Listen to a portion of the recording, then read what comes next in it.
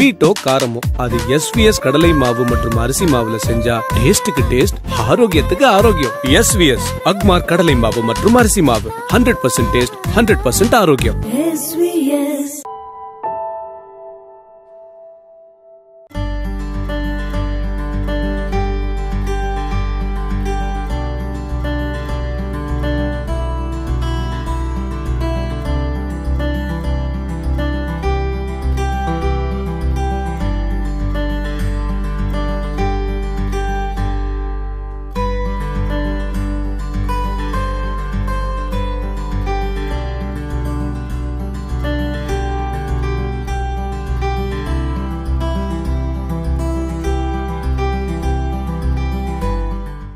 Hello Madurai நேர்கள் அனைவருக்கும் அன்பான வணக்கம். மீண்டும் உங்களை சந்திப்பதில் மகிழ்ச்சி அடைகின்றேன். ஜல்லிக்கட்டு குறித்து வீடியோக்கள் தொடர்ச்சியாக பதிவு செய்து வருகின்றோம். அந்த வகையில் இன்றைக்கு நாம் பார்க்க போவது மாடுபிடி வீரர்களில் பெயர் போன கீழையூர் டொங்கான் கருப்பண்ண கோனார் ஐயாவை பற்றித்தான். தற்போது 75 வயது நிரம்பிய ஐயா அவர்கள் பிடிக்காத மாடுகளே இல்லை பார்க்காத களமே இல்லை. களத்தில் அனைவருக்கும் சிம்ம சொப்பனமாக விளங்கிய காளைகளை பிடித்து அனைவரின் பாராட்டையும் பெறுவதுதான் ஐயாவின் தனி சிறப்பு இவர் மாடு பிடிக்கும் விதத்தை காண இன்றைக்கும் தனி ரசிகர்கள் கூட்டம் உள்ளது. மாடுபிடி வீரராக மட்டும் இல்லாது பதினேழு ஜல்லிக்கட்டு மாடுகளை வளர் அனுபவமும் டொங்கான் ஐயாவிற்கு உண்டு. இவரைப் போல் இவரது மாடுகளும் வீரர்களுக்கு களத்தில் சவால் விடும். முக்கியமாக இவரது மாடுபிடிக்கும் துணிச்சலான வீர விளையாட்டை பார்த்து இத்தாலி நாட்டைச் சேர்ந்த ஒருவர் பாராட்டி நினைவு கோப்பை வழங்கி இத்தாலி நாட்டிற்கு அழைத்துள்ளார். அயல் நாட்டுக்காரர் ஆச்சரியப்படும் அளவிற்கு களத்தில் கலக்கும் டொங்கான் கருப்பண்ண கோனார் பற்றி இன்னும் கூடுதல் தகவல் தெரிந்து கொள்வோம். வாங்க. டொங்கான் கருப்பண்ண கோனார் ஐயா தந்தையார் மு. அழகு கோனார் தாயார் அழகம்மாள். இவருடன் உடன் பிறந்தவர்கள் நான்கு சகோதரர்கள். இவர் இரண்டாவது மகன் ஆவார். இவரது தந்தையார் அழகு கோனார் பதினெட்டு வயதில் மாடு முட்டி குடல் சரிந்து கை வைத்தியம் செய்து குணமாகியவர். தனது தந்தையைப் போல் டொங்கான் ஐயாவும் காலை அடக்குவதில் திறன் மிக்கவர். சிறுபிள்ளையாக இருக்கும் பொழுது டொங்கு டொங்கு என்று நடந்து செல்ல ஊர்கிழவி ஒருவர் டொங்கான் என்று அழைக்க பின்னாளில் அதுவே இவருக்கு பட்டப்பெயராக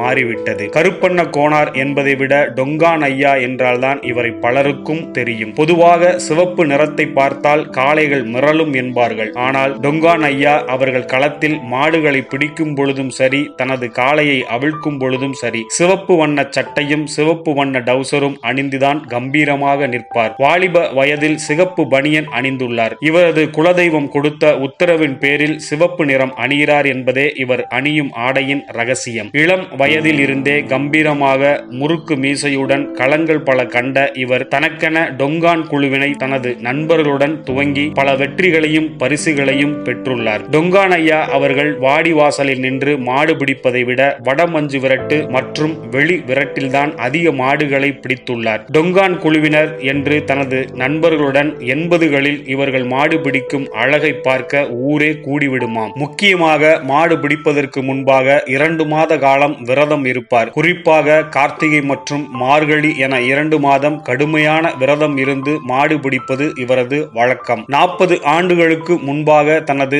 அம்மா ஊரான கீழையூருக்கு குடிபெயர்ந்த ஐயா அவர்கள் இன்று வரை அங்கு தனது சொந்த வீட்டில் வாழ்ந்து வருகிறார். கீழையூர் யாதவ சங்க உபதலைவராக ஐந்து வருடம் பொறுப்பில் இருந்துள்ளார். பதினெட்டு வயது முதல் இன்று வரை மாடு பிடித்து வரும் இவர் ஐம்பத்தி ஐந்து வருடங்களுக்கு மேலாக மாடு பிடிப்பவர் என்ற பெருமை இவருக்கு உண்டு. தனது எழுபது வயதில் கடைசியாக துவரங்குறிச்சி டாக்டர் விஜயகுமார் காளையை பிடித்து அனைவரையும் ஆச்சரியப்படுத்தியுள்ளார். வள்ளக்குளம் ஜல்லிக்கட்டில் குருநாத தேவர் சோளம்பட்டி தங்கம் குழு தலைவர் அரசனூர் மணப்பட்டி ராஜா ஆகியோரை காலை முட்டி வீழ்த்தியது. இந்த காளைகளை டொங்கான் ஐயா அவர்கள் அடக்கியுள்ளார். பலராலும் அடக்க முடியாத மணங்குடிச்சேரி காளை உள்பட பல வீரம் நிறைந்த காளைகளை இவர் சபதம் எடுத்து அடக்கி அடக்கியுள்ளார் ஒருமுறை இவரது குழுவான டொங்கான் குழுவில் மாடு முட்டி சக நண்பர் ஒருவர் இறக்க அதே களத்தில் அந்த மாட்டை டொங்கான் ஐயா அடக்கியுள்ளார். ஒரு மஞ்சு விரட்டில் தோல்வி அடைந்தால் அடுத்த மஞ்சு விரட்டில் அந்த காளையை தேடி பிடித்து அடக்குவதே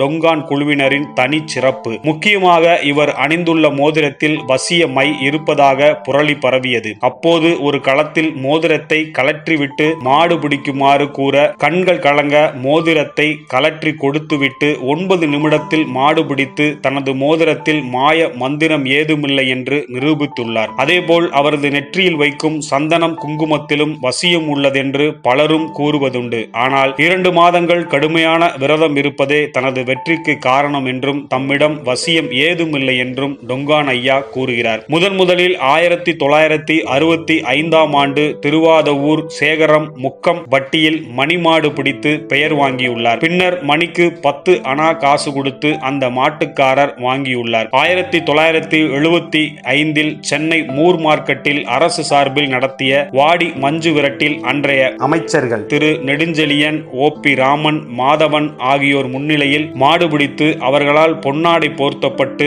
வெற்றி பரிசு பாராட்டு பத்திரம் மற்றும் இரண்டாவது பரிசினை பெற்றுள்ளார். அதேபோல் ஆயிரத்தி தொள்ளாயிரத்தி எண்பதாம் ஆண்டு சிராவயல் மஞ்சு விரட்டில் மாடு பிடித்து வெற்றி வாகை சூடியதில் இத்தாலி நாட்டுக்காரர் இவரது வீரத்தை பாராட்டி புகைப்படம் எடுத்துக்கொண்டார் பின்னர் ராமநாதபுரம் மாவட்ட கலெக்டரும் இத்தாலி நாட்டுக்காரரும் இணைந்து டொங்கான் ஐயாவிற்கு வெற்றி கோப்பையை பரிசாக வழங்கியுள்ளனர். ஆயிரத்தி தொள்ளாயிரத்தி எண்பத்தி இரண்டாம் ஆண்டு பாகனேரியில் மஞ்சு விரட்டில் மாடு பிடித்து காளையை அடக்கிய காட்சிதான் சூப்பர் ஸ்டார் ரஜினிகாந்த் அவர்கள் நடித்த முரட்டுக்காலை திரைப்படத்தில் டூப்பாக பதிவு செய்யப்பட்டுள்ளது. இதேபோல் இயக்குனர் பாரதி ராஜா எடுத்த மண்வாசம் திரைப்படத்தில் காளையை அடக்குவது போல் காட்சியிலும் இவர் நடித்துக் கொடுத்துள்ளார். முரட்டுக்காலை ஷூட்டிங் களத்தில் நேரடியாக பார்த்த நடிகர் ஜெயசங்கர் இவரை பாராட்டியுள்ளார். மேலும் இவரது மாடு பிடிக்கும் வீரத்தை பார்த்த அன்றைய அமைச்சர் ஆர். வி. சுவாமிநாதன் அவர்கள் ரூபாய் ஆயிரம் பரிசாக வழங்கி கௌரவித்துள்ளார். ஆயிரத்தி தொள்ளாயிரத்தி தொண்ணூத்தி ஏழாம் ஆண்டு மதுரை மாவட்டம் கல்லந்தரியில் பத்ராயிருப்பு மாடு பிடித்ததற்கு தங்க காசு பரிசாக இவருக்கு வழங்கப்பட்டது. அதேபோல் ஆயிரத்தி தொள்ளாயிரத்தி தொண்ணூத்தி ஏழில் மதுரை மாவட்டம் கருப்பாயுரணியில் குமரப்பட்டி மாடு பிடித்ததற்கு தங்க காசு பரிசாக வழங்கப்பட்டது. ஆயிரத்தி தொள்ளாயிரத்தி தொண்ணூத்தி ஒன்பதில் சிவகங்கை மாவட்டம் காரைக்குடி அருகே மேல மாகாணத்தில் அரசனூர் மாடு பிடித்ததற்கு தங்க காசு வழங்கப்பட்டது. இரண்டாயிரம் ஆண்டு புதுக்கோட்டை மாவட்டம் வால்ராமாணிக்கம் ஊரில் திருவாதவூர் மாடு பிடித்ததற்கு தங்க காசு வழங்கப்பட்டது. இதேபோல் ஏராளமான மாடுகளை பிடித்து எக்கச்சக்கமான பரிசுகளை டொங்கான் ஐயா பெற்றுள்ளார். தனது உடல் முழுவதும் மாட்டுக் கொம்புகளின் காயங்கள் நிறைந்துள்ளது. அந்த காயங்களின் தழும்புகள் தனது வீரத்தின் அடையாளங்கள் என்று பெருமையுடன் கூறுகிறார். தனது வாழ்நாள் முழுவதும் மாடுபிடி வீரராக வாழ்ந்து வரும் டொங்கான் ஐயா அவர்கள் தான் வளர்த்து வந்துள்ள பதினேழு காளைகளும் பல்வேறு களத்தில் நின்று பெயர் பெற்றவைகள் என்றபோதும் இன்று அவர் காளைகள் வளர்ப்பதை விட்டுவிட்டார். களத்தில் பல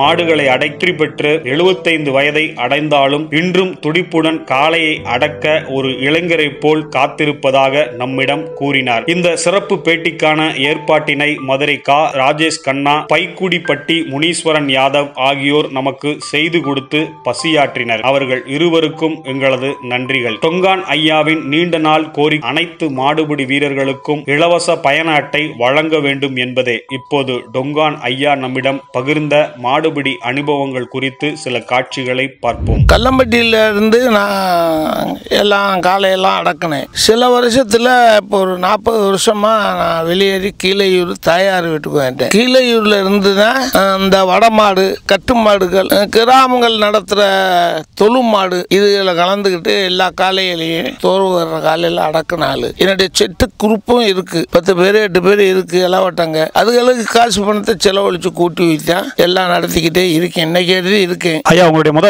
குலதெய்வத்தை பத்தி கொஞ்சம் சொல்லுங்க ஐயா. குலதெய்வம் எங்களோட குலதெய்வம் சிங்கம்னாடி சேவபுரமா சாமி இது குலதெய்வம் தான் நாங்கள் மாடு கண்டு எது வாங்கினாலும் ஒரு தடத்து மண்ணில் ஒரு ஊதி அள்ளி போடுவோம் சிங்கம்னாடி குலசாமி தான் சேவமூர்த்தி கட்டாத தெய்வம் அது. மாடும் கட்ட மாட்டாங்க. மாடு மஞ்சட்டில் வேட்டி வைக்க மாட்டாங்க. தமிழ்நாட்டு ஆளை யார் அவுத்ததாக சொல்லுங்க. சரித்திரம் இல்லை. உங்களுடைய அம்மா அப்பா பத்தி சொல்லுங்க. உங்க உடன் பிறந்தவரை பத்தி சொல்லுங்க. அம்மா பிறந்து கிளையூர். வாக்கப்பட்டது கல்லம்பட்டி அங்கே தான் இருந்து நாங்கள் அண்ணன் தம்பி நாலு பேரில் நான் ரெண்டாவது ஆள். அம்மா பேர் அழகம்மா அப்பா பேரும் அழகா எங்கள் வீட்டு மாடு அடமாடு அடக்கு மாட்டிலே குத்தி குடல் வெளியே வந்து அவர் பேர் குடவரிங்க முடியாமே அதுலேயே அவர் இறந்துட்டார். அது பல தொண்டு தொண்டு எங்கள்கிட்ட மாடு உண்டு. அந்த மாடு வீட்டு மாடு குத்தி இறந்துட்டார். அதுக்கு பின்னாடி தான் அண்ணனு கல்யாணம் பண்ணி நான் கல்யாணம் பண்ணி நாங்கள் அண்ணன் தம்பி நாலு பேருக்குமே கல்யாணங்கள்லாம் நடந்து நல்லா குடும்பத்தை செயலாக இருக்கோம். உங்களுடைய மனைவியை பத்தி சொல்லுங்க. உங்களுடைய குழந்தைகளை பத்தி சொல்லுங்க. என் பேர் கருப்பனு மனைவி பேர் கருப்பாயி. பையக வந்து மூணு பேர் ஆம்பளை பையன், மூத்த பையங்க இடையில கலாச்சாரம் ஆகிட்டேன் கிட்னி கோளாறு.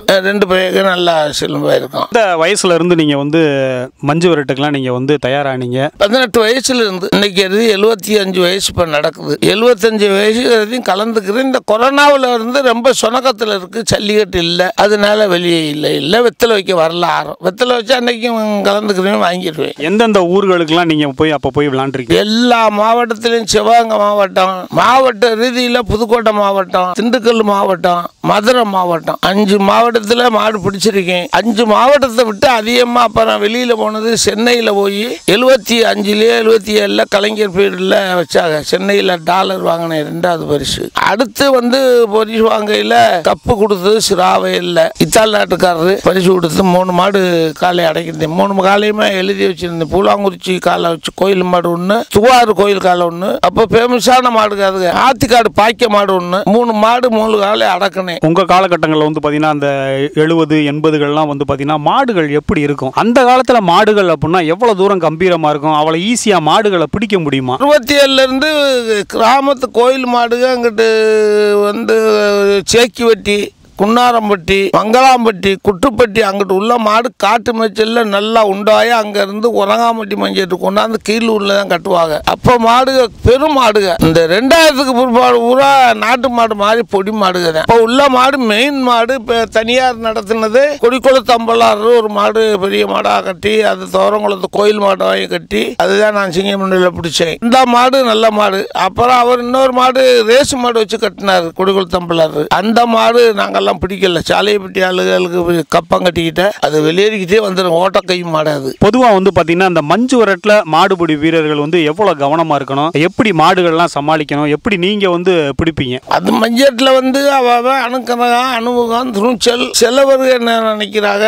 அந்த சந்தன போட்டில் மந்திரிச்சு மாடு வச்சிருக்கான் அப்படின்லாம் சொல்லியிருக்காங்க. அப்புறம் இந்த வட மஞ்சட்டில் தஞ்சாவூரில் மாடு பிடிச்சேன். இந்த கனையாளி மோதிரத்தை நாளையும் கலட்டி கொடுத்துட்டு மாடு பிடிச்சிடும் முத மாடு பிடிச்சிட்டான் மாடு மோதிரம்லாம் போட்டு பிடிச்சிட்டான். ரெண்டாவது மாடு எனக்கு போடுறான் அப்புறம் ஒரு செட்டுக்கு இந்த நாலு set Raja Panneer set Solampatti Thangam set Keezhur டொங்கான் செட்டு அரட்டவாட்டி இளமநாயம் உங்களுக்கு நாலு செட்டு தான் அப்போ பத்து மாடு பன்னெண்டு மாடு போட்டு பிடிக்கையில் ஒரு செட்டுக்கு ரெண்டு மாடு. அப்படி பிடிக்கிற நேரத்தில் அவர் கடையாளியை கலெக்டர் தர சொல்லுங்கன்னு கலெக்டர் தாசிலார் இருக்கவங்க சொல்லிடுறாங்க. பதினேழு நிமிஷத்தில் பிடிச்சிருந்தேன் அந்த முத மாடு. நீங்கள் முதல்ல காலையை பதினேழு நிமிஷத்தில் அடக்கிருக்கிய.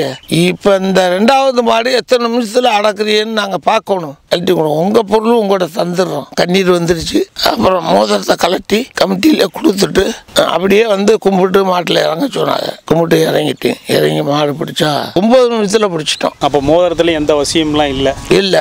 அது இப்போ நிறுவனம் ஆயிடுச்சு நிறுவனம் ஆயிடுச்சு அந்த ஆளுகெல்லாம் பிரியமா அன்னைக்கு ஆயிரம் ரூபாய் தான் பரிசு. அவருக்கு கிளையூர் டொங்கான் செட்டுக்கு நாங்கள் ஒரு ஆயிரம் ரூபா அன்புல்பா கொடுக்குறேன் அப்படின்ட்டு கலெக்டர் கொடுத்தாரு. அப்போ கொடுக்கல அந்த காசு ஆயிரமும் அந்த மோதிரத்தையும் சேர்த்து கொடுத்தாரு. காலத்தில் வந்து பார்த்தீங்கன்னா மாடுகளுக்கு என்ன மாதிரியான வைத்தியங்கள் பார்ப்பாங்க? ஏன்னா இன்னைக்கு நிறைய வந்து கால்நடை மருத்துவமனைலாம் இருக்கு. ஸோ அப்போ வந்து வைத்தியங்கள்லாம் என்ன மாதிரியான வைத்தியங்கள்லாம் பார்ப்பீங்க? அதுதான் நாட்டு வைத்தியம் தான். இந்த கொல்லங்கோவா கிழங்கு தலை சுருளி கொடி பிரண்டை உப்பு தேங்காய் அதுக்கெல்லாம் வச்சு இடிச்சு கிடிச்சு போடுறது. அதுதான் நாட்டு வைத்தியம். இது எதுக்காக வந்து இந்த பயன்படுத்துறீங்க இது? அது மாடுக்கு நோய்க்கு வந்து இப்படின்னு சொல்றது.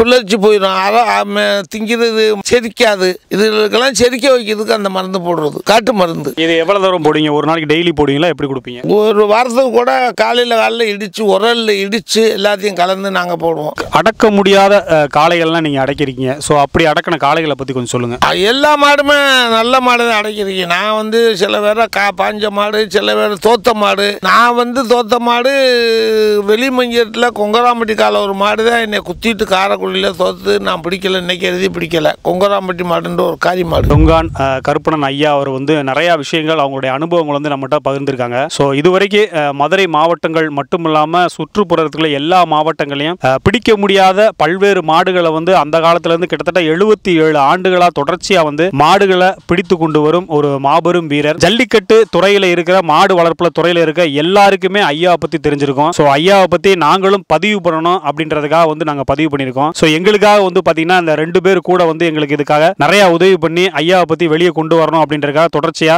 ரெண்டு நண்பர்கள் வந்து கூட வந்து உதவி பண்ணியிருக்காங்க. ஸோ அவங்களுக்கும் எங்களோட நன்றியை தெரிவித்துக் கொண்டு மேலும் இதுபோல் ஒரு களத்தில் சந்திக்கும் வரை உங்களிடமிருந்து விடைபெறுவது ஹலோ ரமேஷ். நன்றி வணக்கம்.